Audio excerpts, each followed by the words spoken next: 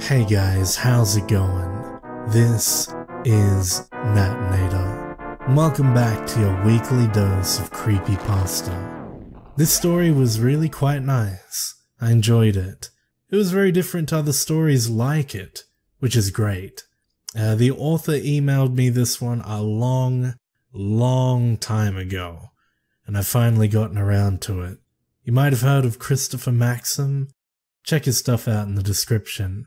His stories are really good, and this one is no exception. It's titled Empty and Endless, like my life. Now turn out the lights, get comfortable, and let the story begin.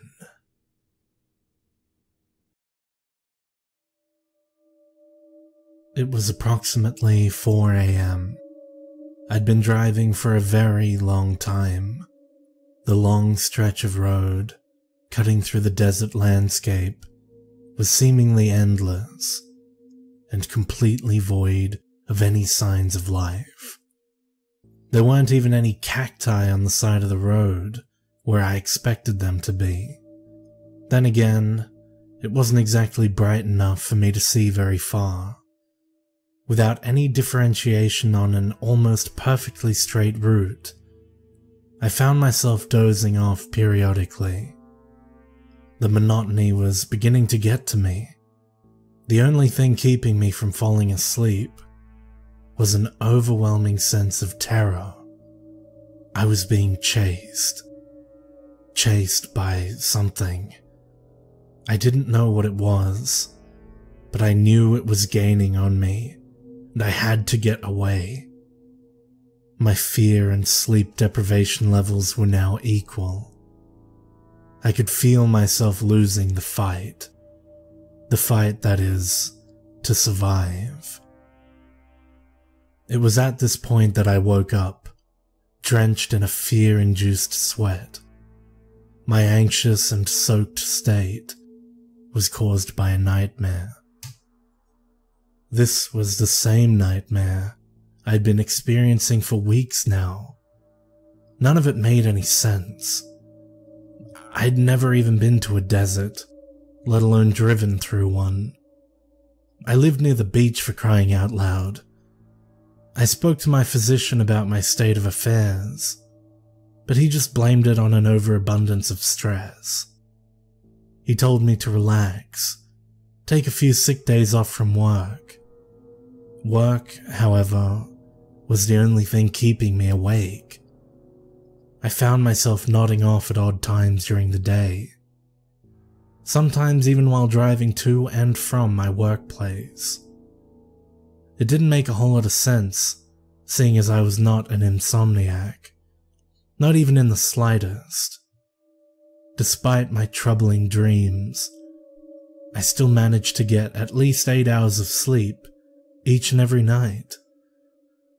My doctor didn't really shed any light on this either, simply telling me to take some caffeine pills during the day to keep from falling asleep at the wheel. The situation at hand was my burden and mine alone to bear, seeing as nobody could offer me any form of valid insight. After another long day of work, I ventured home to inevitably get some rest.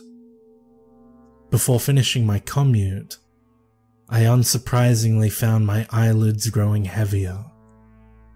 I tried to keep my eyes on the road, but I could feel my mind yearning for sleep, just begging me to close my eyes and drift off. Seeing as this was not exactly a good time to catch some shut eye, I figured that I should pull over before endangering other people's lives, not to mention my own. I would have done this had my insatiable desire for sleep not taken over in a matter of mere seconds. These were anything but ideal circumstances. In a seamless fashion, I went from driving home from work to driving through that long stretch of road, located only in my nightmare. It was dark out, as was to be expected. What wasn't expected was a pair of lights off in the distance. I could barely see them, but they were definitely there. I still had an unnerving sense of being chased, but something didn't feel right. I kept driving nonetheless. After what felt like maybe 10 minutes of driving, I could make out what the lights were. They were headlights. They belonged to a truck driving in my direction on the other side of the road. This was astonishing to me because my recurring dream never contained anything within it other than myself and the landscape. As the truck grew closer, it started honking its horn. The sound grew louder and louder until finally I awoke from my untimely slumber. Without even a proper moment's notice to react, I swerved to the right, avoiding the oncoming traffic. My car had wandered onto the wrong side of the road while I was asleep. The honking I had heard in my dream was actually that of an oncoming car. I looked back to make sure I hadn't been the cause of some sort of pile up in the middle of the highway. To my relief, I was not. Even so, I was lucky to be alive. After adjusting myself onto the proper side of the road, I realized where I was located. I was in almost the exact same spot that I had been before drifting off. My dream may have felt like it had lasted 10 minutes, but in actuality, it only lasted an instant. Thank goodness for that, otherwise, I could have very well died. With my newfound understanding, I drove the rest of the way home, successfully avoiding sleep's unyielding grasp. After getting undressed and putting my things away, I let myself fall onto my bed, completely missing my pillow. Even still, I fell asleep almost instantaneously. My dream commenced once again. I was driving down that all too familiar desert road when I once again noticed something. The headlights from my previous dream were back again, off in the distance. I was perplexed, as I had assumed the fast approaching truck had only leaked into my dream before, given my setting at the time. I let the dream continue as it normally did. I could still feel the fear instilled in my fast beating heart, knowing that something was still out there chasing me. After roughly 10 minutes of driving, the headlights came into view, revealing the very same truck. This was then followed by the sound of a car honking its horn. I then woke up. Upon waking, I found myself in my car, driving into oncoming traffic. I swerved to the right, mimicking my motions from earlier in the day. After doing so, the confusion set in. What was going on? Where was I? The answer to this would only leave me with more questions. After looking around and getting my bearings, I knew exactly where I was. I was back in the exact same spot where I had been driving before. The same spot where I fell asleep and almost collided with another car. My next course of action was to look at my clock. No, this couldn't be. It was not only the same spot, but it was the same time as well. How? Was I still dreaming when I woke up the first time? If so, then how did I predict exactly what would happen when I awoke? I could feel a large amount of anxiety setting in, as well as more fatigue. I decided to discard my questions for the time being and simply focus on driving home. I made it home safely, but as puzzled as ever. I would have delved deeper into the problem in a search for answers, but I was far too tired. I simply assumed that the entire ordeal was nothing more than a strange, somewhat premonitory dream. In accepting my theory as truth, just barely, I undressed and put my things away. I walked over to my bed and fell onto it, completely missing my pillow. After a moment or two, I fell asleep once more.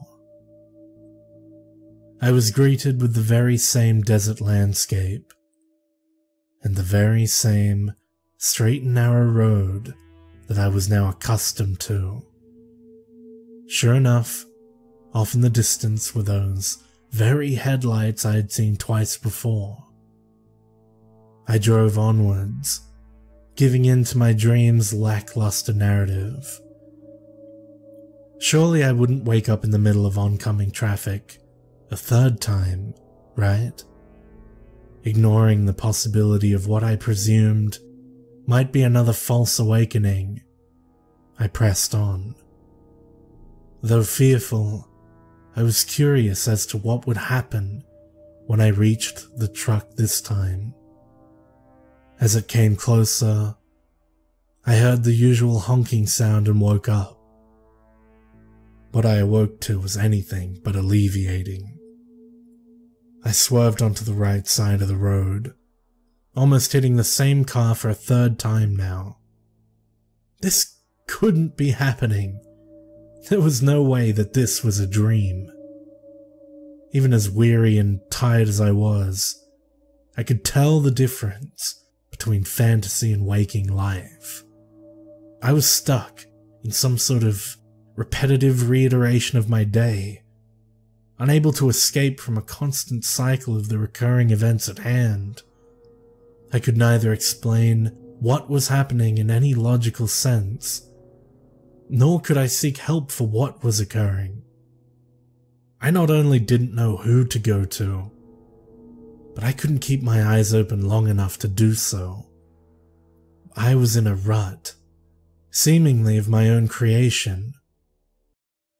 I drove to the safety of my home yet again, managing to elude the clutches of sleep along the way. It was easier this time as anxiety and utter panic kept me going. I was scared and bewildered, not to mention mentally exhausted, unsure of what to do next. If only I could stay awake long enough to figure everything out. This is what I told myself in my head over and over again. But after I undressed and put my things away for a third time, I walked right over to my bed, knowing that I had no other choice in the matter. Right as my head hit the soft blankets, I inadvertently slept once again. Just as before, I was driving down that same desert road, staring off at those same ominous headlights in the distance. This was completely mad. How much longer would I have to endure this torment? In a fit of rage, I hit the brakes, and to my surprise, the car stopped. I'd never done this before, afraid that whatever was behind me would catch up. I didn't even know if it would work. Even stranger, once I stopped, the feeling of being chased ceased. It was almost as if that sense of being hunted only existed so long as I fed into it, unwillingly giving life to the plot of my dream. How peculiar. I was relieved to be without fear for once in my recurring nightmare. but I still felt overtired, even though I was asleep. I still needed answers too. I got out of the car and looked toward the headlights in the distance. I estimated that I would have about 20 dream minutes before it caught up to me and jolted me awake in the middle of traffic again. Considering it reached me in 10 minutes, while I too was driving. Without a moment's hesitation, I headed off into the desert scenery, on the hunt for a solution. I didn't know if it would harbor one, but I was running out of options. I had to walk, not only because I was oddly tired, but also because I didn't want to make any hasty movements that might awaken me earlier than expected. As I walked, I could see rock formations in the distance. One in particular caught my eye, as it had what looked to be some kind of opening on its side. It appeared to be a dwelling of some kind, maybe one that contained a way out of all of this. My wishful thinking got the better of me, and I started running. Luckily, I remained unconscious. After about a minute or two, I reached the stone dwelling, hoping it would have within it the key to this bizarre mystery. As I stepped over to its opening, I noticed a flickering light from within. There must have been a fire, and if there was a fire, there must have been a person to make it. I told myself that, but this was a dream, and a dream fire did not require a dream person to make it. I just let myself believe this for the time being, so I would at least have a shred of hope to hang on to. I turned the corner to see where the light was coming from, and to my surprise, there was indeed a fire. Not only that, but there was something else too. Not something, but someone. In fact, the opening on the side of the rock formation, I could see two things. There was a small fire illuminating the dwelling. There was also a person sitting by the fire on a makeshift wooden stool. I say person, but it wasn't really. It had skeletal legs and hands, and wore a purplish tattered cloak, hiding all of its other features. It was very small, too. If it stood up, it probably would have only come up to my waist. I saw no face as the cloak was hooded, and within it was pure darkness. Not even the fire could light up its face. It's almost like it didn't have one. Before I could examine the being any further, it looked up to me and spoke. It's about time. I didn't even have a chance to converse with it. After it spoke, I woke up. Where did I wake up exactly? you guessed it. In the middle of oncoming cars on the highway. How marvelous. I must have run out of time. I swerved to the right, narrowly avoiding a collision. With a new sense of focus and motivation, I drove home again. I knew that whatever that thing was in the desert, it must have had the answers that I so desperately desired. I reached my house once again, still feeling tired as ever. I went in, undressed, put my things away, went to bed. Much like before, I fell asleep in an instant. My dreamscape remained unchanged. Thinking more clearly now, I took a sharp turn to the right and drove off into the desert. I reached the rock formation rather quickly, almost hitting it with my car. Luckily, I slammed on the brakes before I could do so. I got out of the car in a haste, walked over to the dwelling's entrance.